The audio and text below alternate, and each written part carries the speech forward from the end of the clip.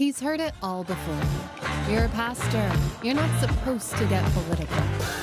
You shouldn't be talking about these issues, so just stay out of politics and stick to preaching the gospel. Life, marriage, sexuality, borders, ethnicity these things aren't political, they're biblical. God's Word has much to say about the culture we're living in. This is Our Watch with Tim Thompson. Well, good Sunday morning to you. I am Tim Thompson, Senior Pastor 412 Church in the Temecula Valley. And as always, I'm here with my co host, Pastor Jake Porter. He is the youth pastor at 412 Church there in Temecula Valley. Pastor Jake, how you doing? I'm doing great. How are you? I am doing outstanding. So many good things going on in the world, and we've got the Word of God that's guiding us through all of that. The Spirit of God empowering us to be who He's called us to be. Amen. So it's it's awesome.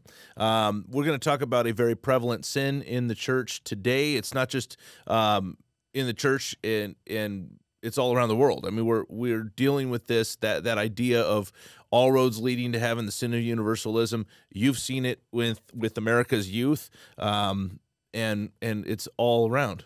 Yeah, yeah, it's all over the place, especially younger people in America. Uh, they're they're getting for some reason this idea that okay, I can do whatever I want. Everybody ends up in the same place at the end. It's okay, um, and and they're buying into a lie. Is the is right. the truth about it? Right. Yeah, they they don't know objectively how to look at things, and of course, yep. we find the objective view in God's word. So we, we preached on this. Uh, I preached to the adults, as always. You pro- preach to the youth, and we bring the same message, just you know on different levels but we're trying to make sure that people can objectively tackle these issues and so we preached on that we want to share a quick clip of that and then we'll discuss it so uh, if you would out there in the world take a listen to this Turn in your Bibles to Matthew chapter 13. We're going to tackle this very prevalent sin in our culture the idea that all roads lead to, to heaven. The, the idea that as long as you're a good person and you believe in something, then you're going to get there. And we're going to find in the scriptures today that's simply not true. Um, but let me just define universalism it is the heretical doctrine. Now, when I say heretical, I mean the, it's a doctrine that's heresy. In other words, it's contrary to God's word. It leads people away from a right relationship with God. So the, it's the heretical doctrine that emphasizes the universal fatherhood of God and the final salvation of all souls. So everybody, in other words, everybody gets saved at the end. Everybody's going to go to heaven, and God is the universal Father over all people. And again, we're going to look objectively at these things. Is God objectively, is he the father of all people? Well, we see in John chapter 1 that in the beginning was the Word, the Word was with God, the Word was God. So that's talking about Jesus. It says in the beginning he was there, that he created all things. And then, and it goes on in John chapter 1 to say that as many as received him, that is, received the Word of God, who is Jesus, as many as received him, to them he gave the right to become children of God. It's to the people who receive Jesus as their Lord and Savior. They're born again, they have the Spirit of God in them. The ones that receive Jesus, they're the ones that become the children of God. So the idea of God being this universal Father over all people is not true biblically. When we look at it objectively, God is Father to those who are born into his family. We're adopted in, we're grafted in, right? We're adopted into the family of God, and he then becomes our heavenly father. Until that born again process takes place, we are not the children of God. It's just not biblical. Um, so the, the idea of universal fatherhood and God loves all people and eventually will save all people, regardless of what they believe in, is just not true. And some people actually extend this out. The, the doctrine of universalism even morphs into what's known as the doctrine of, um, I'm going to butcher this word every time, um, apokatastasis. Apokatastasis. Um, the idea of that is not only is God going to save all people, but even all created beings, including the fallen angels, which would include Satan. So people actually extend it out to that, that God's a loving God and he's just going to save everything and everyone and, and eventually, doesn't matter, everybody's going to get into heaven. It's simply biblically not true. We're going to share that in God's word today. So if you're a note taker, I'm going to give you four takeaways. These are four things we need to know about the sin of universalism. The sin of universalism. So, um, we want to tackle these four things. We want to get through them really quick, but we want to share right away the the parable that Jesus spoke uh, when he was talking about this topic that we're talking about today. Now, a parable is an earthly story, gives a heavenly meaning. Matthew chapter 13, he shares this parable. It's the parable of the wheat and the tares. Pastor Jake, what does this parable say?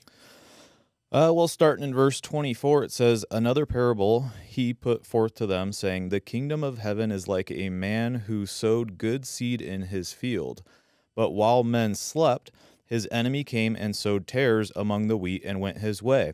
But when the grain had sprouted and produced a crop, then the tares also appeared. So, verse 27 the servants of the owner came and said to him, Sir, did you not sow good seed in your field? How then does it have tares? He said to them, An enemy has done this. The servant said to him, Do you want us then to go and gather them up? But he said, No, lest while you gather up the tares, you also uproot the wheat with them. Let both grow together until the harvest, and at the time of harvest I will say to the reapers, First gather together the tares and bind them in bundles to burn them, but gather the wheat into my barn. That is a whole mouthful right there. Yep. What you just said, and and a lot of times people can read that and go, "Oh my gosh, what is God? What is God talking about?" And and we wouldn't be alone in that. Of course, his disciples said the same thing in verse thirty six. They went after the multitudes went away.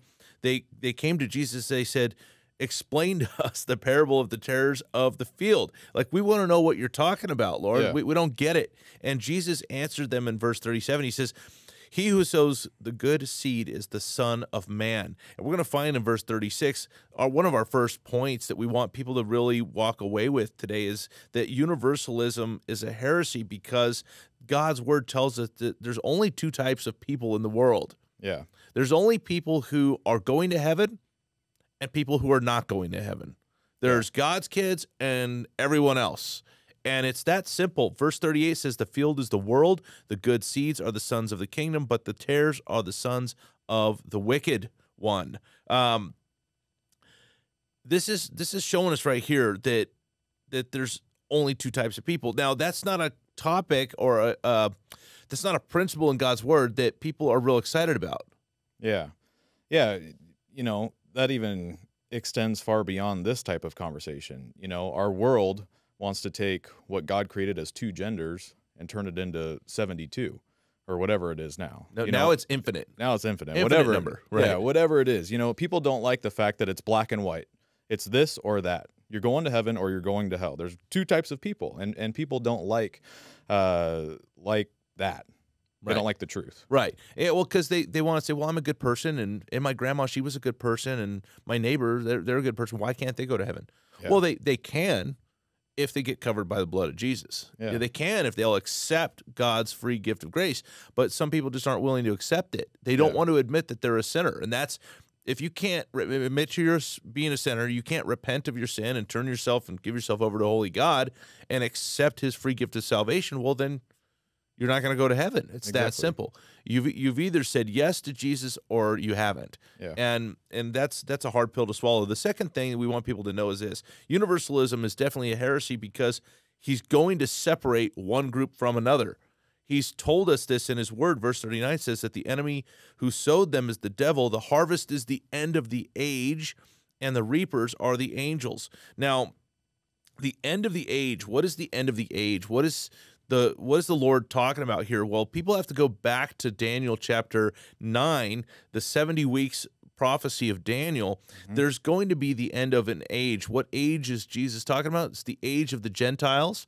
It's also known as the age, the church age or the age of grace. It's the the age that we're in. So when Jesus died, he set up the the age of grace. He set up the church age.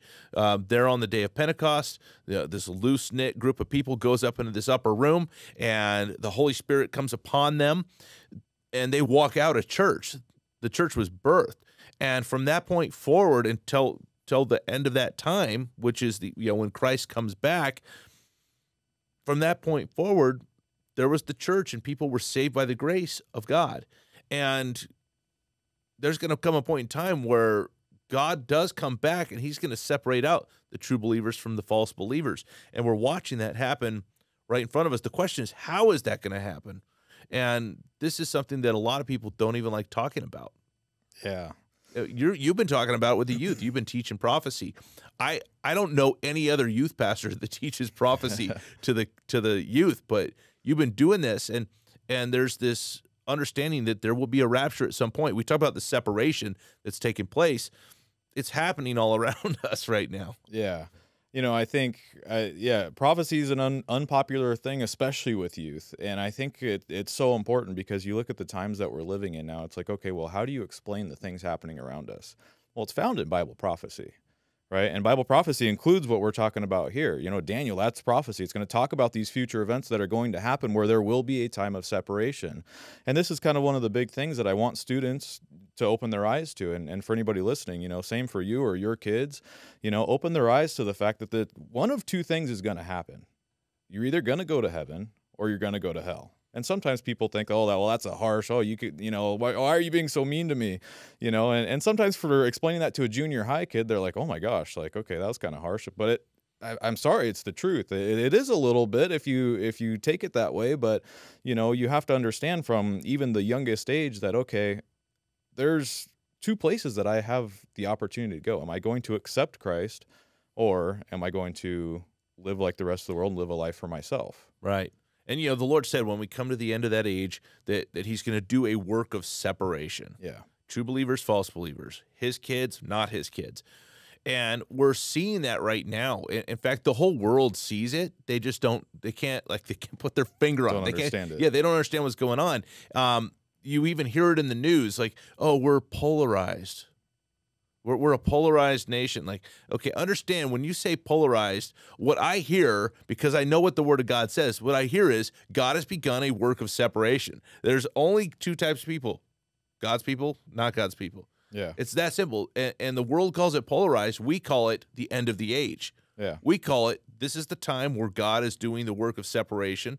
And that's all there is to it. Yep. So it's it becomes as you understand Bible prophecy, it becomes very clear God has begun the work of separation. Um, there's this concept of progressive prophetic revelation. The idea is as God unveils his prophetic timeline, he doesn't often do things just like in a snap, just like, okay, it's done. What he does oftentimes is he unveils what he's doing, and over the course of several years, and even sometimes decades and centuries, over that time, he unveils what he's doing. Yeah. And we're seeing that right now. God's begun separating, and, and it's becoming clearer and clearer. We've seen over the last two years this separation on a fast track. Yeah. You're either for him or you're against him. You either love his commands or you don't. Um, you, like you brought up gender. You know, it's just like these things. It, it's be, it's become so clear. Mhm. You can you can walk into a room, have a conversation with somebody for about three minutes, and you know, like, okay, we're like minded or we're not. Yeah. We love God or we don't. You know, and and even amongst people within the church, you know, you're seeing you're seeing the the false believers. See, that's one thing it says that, that they're going to grow up together. Mm-hmm. You know, don't don't uproot one with the other. Just let them all grow up. You're going to have true believers and false believers, and we'll God's like, hey, I'll deal with it at the end. We'll separate out. You'll know. Yeah. You'll know who the true believers were and the false believers. Um, the third thing we want is is this: universalism is a heresy because God's word says that the people not filled with His Holy Spirit will be sent to hell. He he doesn't shy away from the the truth that there is a place called hell. He created this place. He did not create it for humanity. He created it for Satan. Mhm. Um, however, people who do not submit themselves to his godship, they're going to end up in that place called hell. It says in verse 40, therefore, as the tares are gathered and burned in the fire, so it will be at the end of this age. Again, this is the church age. Uh, it's very clear, burned in the fire. Where does people think that is? It's in a place called hell. It says in verse 41 that the Son of Man will send out his angels, and they will gather out of his kingdom all things that offend and those who practice lawlessness, and will cast them into the furnace of fire. That's scary talk right there. There will be wailing, or some versions say weeping, and gnashing of teeth. When I think of gnashing of teeth, like what the, the picture that comes in my mind is Arnold Schwarzenegger. You know, when when he's he's like ah, you know that that Arnold, you know, he just had this ability to gnash his teeth on camera and just pretend because he was acting, but just pretend like he was in so much pain or he's striving or struggling so hard. Ugh, that that's the gnashing of teeth. And there's going to be a point in time where people will end up in a place called hell where they're going to be weeping and gnashing their teeth. And this is why like when when people say well why are you saying these things about why can't i just live how i want and you're telling me that that i'm wrong you're so full of hate it's like listen I am nothing but love when I tell you these things. Yeah. I have zero hate for you. In fact, the person who won't tell you you need Jesus, they're the ones displaying hate Yeah. because they they're not willing. You don't matter enough to that person for them to share the truth with you, for them to bring you to eternal salvation and have life in a place called heaven Yeah. where there's no more weeping and no more crying and no more fears and no more tears. Yeah, that's the most loving thing we can possibly do is share the truth about heaven and hell with somebody. To share the truth that, hey, you know, if you keep going down that track, this is where you're going to end up in a place into the furnace of fire where there's going to be wailing and gnashing of teeth. And when you consider what, you know, like you're talking about, wailing and gnashing of teeth, like that, uh, it's absolutely miserable a, a complete eternal life of misery where it's just you're literally crying out weeping and gnashing your teeth and you explain that to to people and and again yeah they take it offensive sometimes but that's the most loving thing you can do is share the truth with somebody Right. and i think too many people are getting scared of sharing the truth in fear of offending somebody Right. And it's like that's the most loving thing you can possibly do for somebody they might be offended by it if that's how they choose to receive it but Right. you're still And- loving them here's a fact. You know, the Bible says that it, it is an offense. The word of God is an offense to the people that are perishing. You know, Yeah. it's it's offensive to tell somebody you're wrong. Yeah. How you're living because they the the rest of the world tells them that it's okay. Live however you want. You be you. You know, and and the fact is we're not supposed to just live however we want. The Bible is replete with stories of of men and women who did things that were right in their own eyes. yeah And every time they did what was right in their own eyes, they failed. Every time they did what was right in their own eyes, their civilization crumbled. And God had to come in and get rid of the sin and deliver them from their sin and give them new rulers because everything had gone to hell in a handbasket. You know. And so so it's important to to open ourselves up to truth, be willing to speak truth, no matter how offensive that truth is, uh, and draw people to a loving God. Like you said, it is the most loving thing you can do. And I think we, as a culture, we've gotten so conditioned to not want to offend anybody with truth that, that we've kept our, our mouths shut. We're silenced. And I think the world right now, in fact, I know the world right now needs leadership yeah. you know the youth pastors. I mean i have not seen a youth pastor like you. I'm not trying to puff you up with pride but i haven't seen a youth pastor like you that's willing to teach prophecy. Like hey look around. Look at look at the condition of the world. Why are we in this condition? And because it's in this condition what can we expect is coming? You know so as you're teaching these things these these very prophetic issues to the youth what are you seeing? How are they responding I mean, we have a mature congregation by large, you know, and, and thanks to great parents and, and they've raised their kids well. And I, and I think their eyes are, for the most part, open to a lot of this stuff. But, you know, a lot of them haven't sat down and really studied Bible prophecy. So that brings a different aspect to it. And what it's, what it's doing from what I've seen is really motivating them to want to engage with other people around them. Like, for example, just last night, there was a, a young middle school girl that um, she kind of comes up every couple weeks and she's like, you know, I'm just like, I'm, I'm trying to share with my friend. I'm trying to share with my friend. We're talking about prophecy. And she's like, well, what if I, I keep trying to share these things with her? And if she doesn't accept it, like, what happens? Like, what happens when the rapture comes? What happens when these things start to unfold? And, and what it's, they're, they're gaining this deeper understanding of, okay, what does really the end times look like? You know, and, and one of the most entry things that we've talked about is Matthew 24. Like, okay, what things are going to be happening as what like as things get to the return of Christ. You know, we talk about the labor pains of, of these different events that are going to happen, and they they are realizing like, okay, we are. This is all around us. Right. They're like, if this isn't the time we're living in, I don't know what is. Right. And I and I'm glad that God's word's opening their eyes to the times they're living in and and preparing them for what's to come. Right. You know, a lot of people kind of shy away from teaching Bible prophecy because they'll say, well, you know, people have been saying this for so long that, you know, that the Lord's coming back and he, he hasn't come back yet. And they don't understand the dichotomy that God has left us in. You know, mm-hmm. when Jesus left, he, he left us in this weird dichotomy where we have to live two ways simultaneously. We live, on one hand, we live as though he's coming back right now. The doctrine of imminency. He's coming back right now. What that does is it instills in us this this sense of urgency for personal holiness. Like if he's coming back right now, I better not be doing something stupid. You know? So so it's this sense of urgency for personal holiness and urgency to share our faith. Like you're talking about this students like, well, what happens? Well, what happens is they go to hell. You know, that's that's what happens. So we don't want that. So it's urgent to share the message of the cross. But on the same hand, simultaneously, we live as though he's never coming back in our life, which means we plan for retirement. We raise up godly kids and grandkids. Like we want to leave, leave a legacy, right? So, so we're living both ways simultaneously. This is how Jesus left us, and this is how we have to live. And Yeah. and there's really no alternative. If you live just as though he's coming back right now, and not as though he'll never come back in your lifetime. What happens is people do really stupid things. They sell off everything and they just sit there and uh, you know they don't Yeah. they don't know what to do.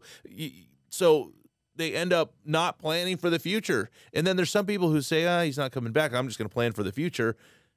And then they never have some sense of urgency to be holy Yeah. they don't share their faith because oh, I got time. You know, I'll share I'll share my faith with my mom later because we got time. Like, look, tomorrow is promised to no man. Yep. You know, so we have to know that.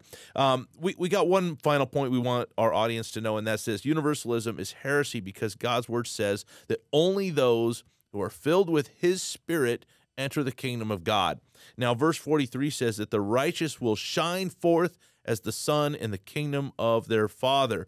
He who has ears to hear, let him hear. And I would say that to everybody that's tuned in right now is if you have ears to hear, let you hear.